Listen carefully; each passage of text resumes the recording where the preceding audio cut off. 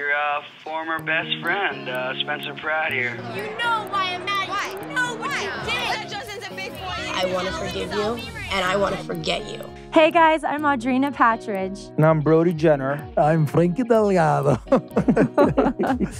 What's going down? I'm Brody Jenner, and welcome to Was It Real, the Hills Rewatch podcast. We are going back to 2006 and breaking down the question you've all been asking us after all this time.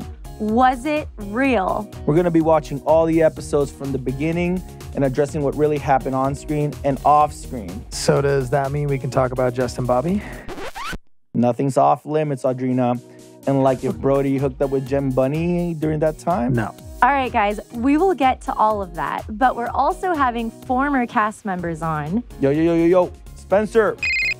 And even the show's original producers to fact check us as we go. We're also going to be taking fan questions too, so follow Was It Real wherever you go to get your podcast or on YouTube to be in the loop on how to be involved. And drop us a rating and review and let us know who you want to see on the show or what you want us to cover.